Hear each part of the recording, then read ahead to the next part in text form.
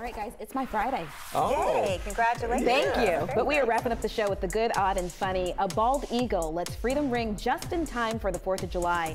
Good Samaritans saved the young eagle after it fell from a nest last month. The bird couldn't fly anymore because of a broken bone, so Pennsylvania wildlife experts nursed the 12-week-old bird back to health, and the eagle healed and was released back into the wild yesterday. That's Gosh, really Those wings are Yes, so beautiful. So majestic. All right, let's turn to the odd right now. The AJC Peachtree Road Race wasn't the only event that got a lot of folks running today.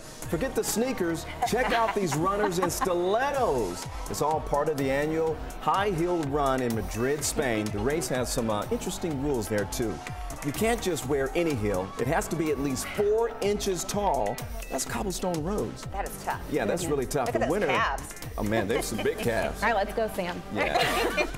Used to it. We can do it. So there I is see a lot of platforms, There is a, a reward for this thing, right? Or, or winner. The winner gets at least 400 bucks. That's not ah, bad. Yeah, I don't know if it's worth it. Right. Okay, now for the funny. This one will give you a good laugh. A squirrel leads police on a high-speed chase. Okay. A New Hampshire police department posted this video to their Facebook page. It shows two officers jumping at the side of a squirrel.